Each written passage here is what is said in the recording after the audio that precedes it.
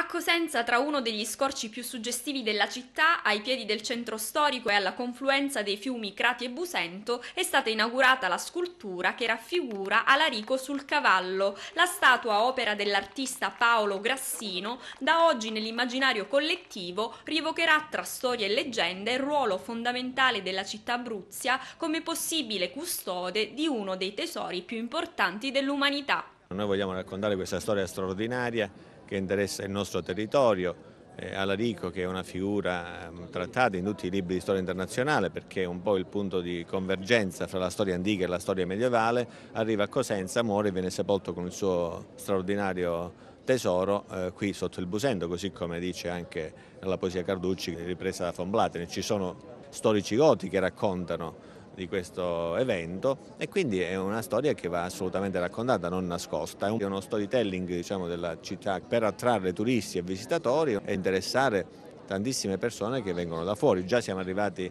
ad essere i terzi in Calabria come presenze turistiche, siamo stati inseriti nella guida rossa dei tedeschi e molti visitatori stanno venendo qui, adesso questa scultura rappresenta un po' il simbolo diciamo, che è importante, lo troviamo per esempio a Verona con il balcone di Giulietta Romeo, lo troviamo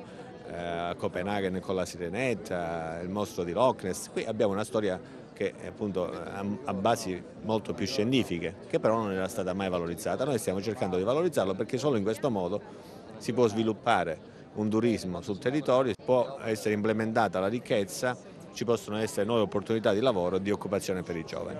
Presenti all'inaugurazione, oltre a studenti e cittadini, tante autorità civili e militari, tra cui il prefetto Gianfranco Tomao, il presidente della Fondazione Carica Mario Bozzo che ha finanziato l'opera, la curatrice archeologa dei musei capitolini Marina Mattei e il sottosegretario ai beni culturali Dorina Bianchi. Quest'ultima ha dichiarato, tra l'altro, il suo pieno sostegno alla candidatura di Cosenza come capitale della cultura 2018. Cosenza ha tutte le carte in regola per candidarsi a essere capitale della cultura, c'è un'opportunità reale, ora si passerà dalle prime 21 in cui Cosenza è entrata alle eh, prime 10. La mia presenza oggi qui e eh, poco tempo fa anche al castello eh, di Federico II è la dimostrazione che noi vogliamo esserci, che le luci su Cosenza sono accese che lo sviluppo e la crescita del nostro Paese passa